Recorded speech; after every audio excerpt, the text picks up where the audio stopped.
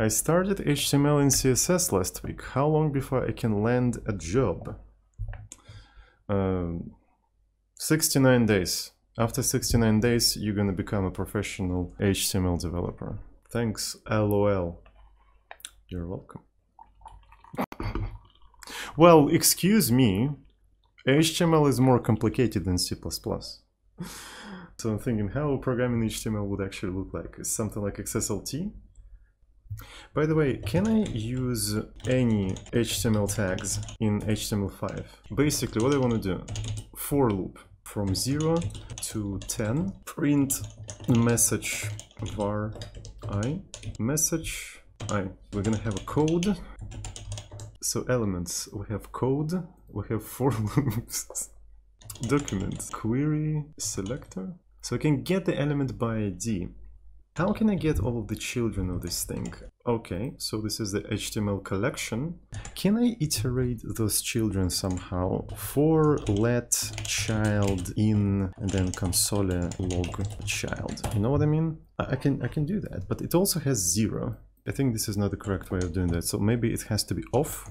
Yeah, it has to be off. So we have a code and we're gonna do for of code eval node and I'm gonna just provide the child.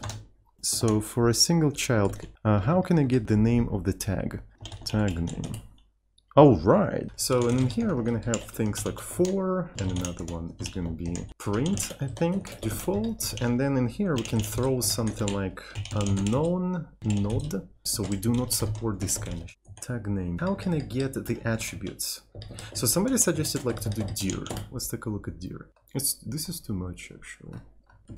Attributes.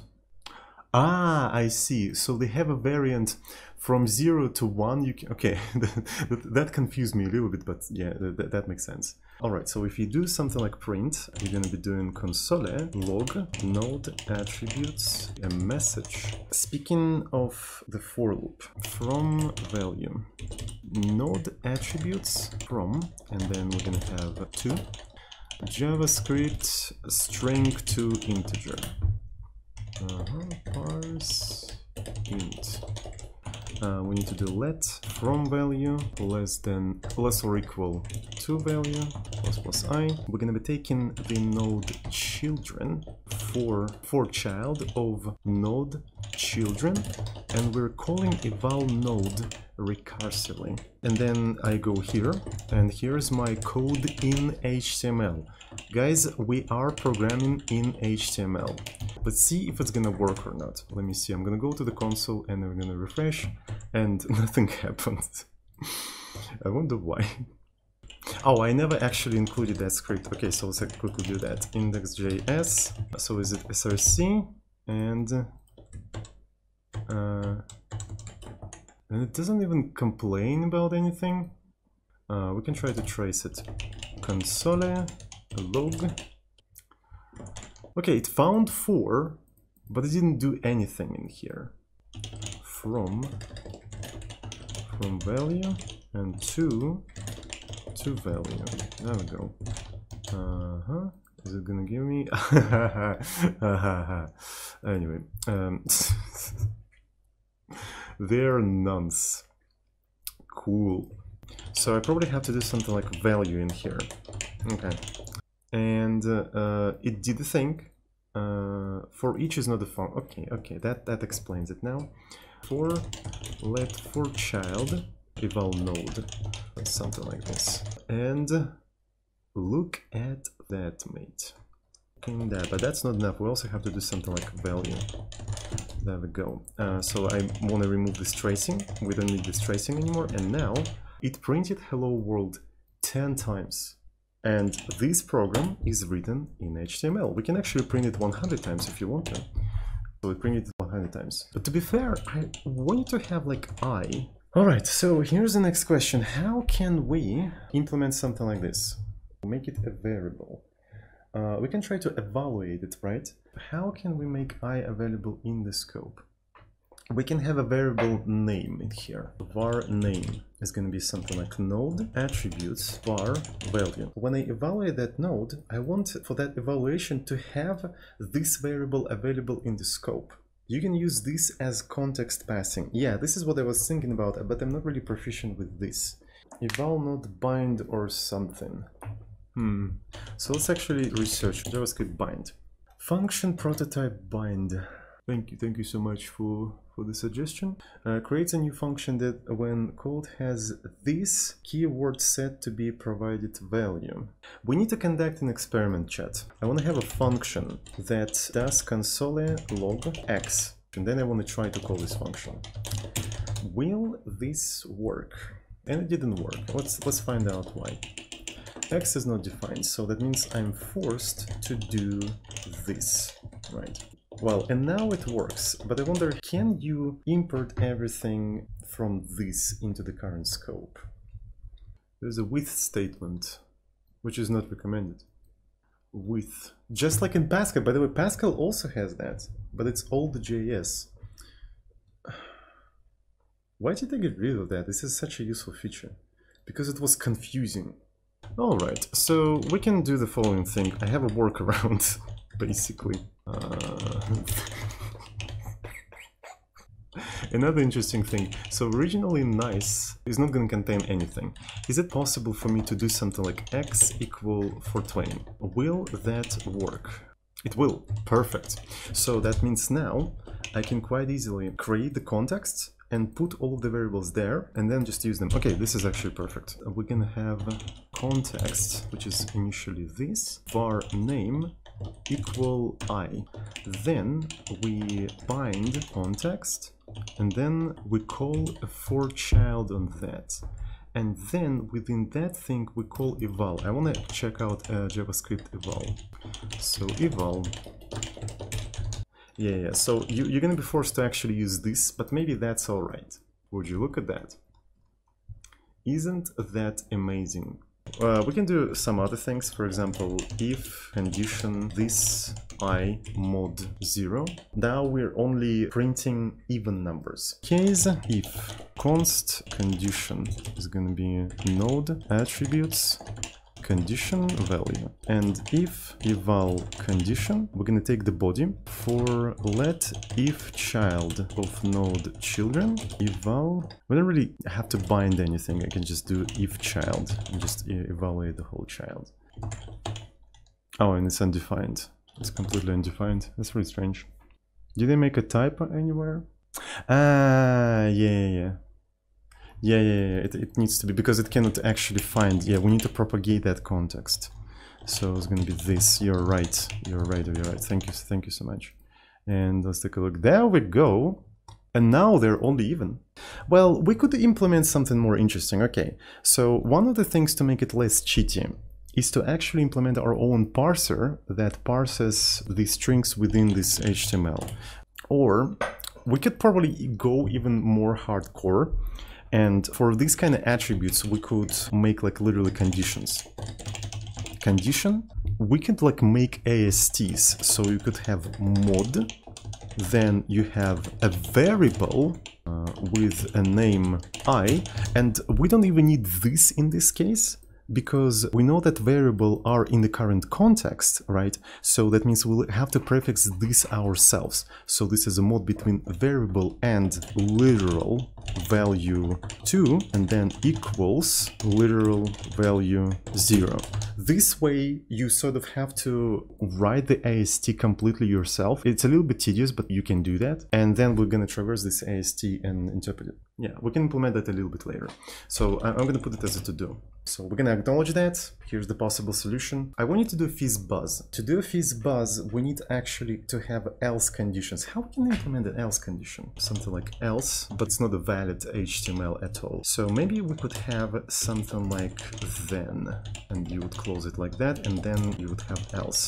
Because how do you implement a fizz buzz? If i is divisible by 15, it's divisible by 3 and 5 simultaneously. To print fizz buzz else you know what right now what i'm gonna do message not fizz buzz but rather this i switch case that's a good idea actually so it's gonna be something like switch and then you could you would have case with the condition this i 15 case print message okay then we're gonna have another case divisible by 3, case print message fizz. I'm gonna copy paste this entire thing, and divisible by fizz is gonna be buzz. Alright, and we're gonna remove that. I'm not gonna remove the code that actually interprets all of that, but yeah, I'm gonna keep it like this. Let's go back to the interpreter. We're gonna introduce switch. I need to start iterating through all of the children's right away.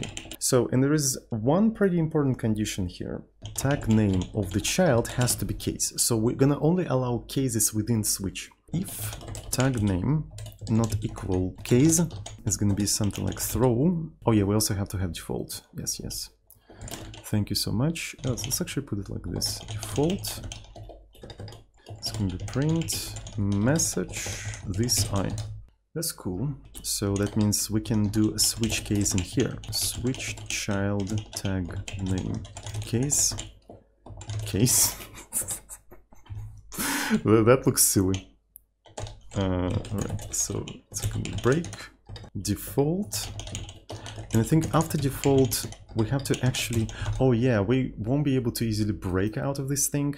So we need to have a case condition. It's going to be case condition, switch child, attributes condition, value.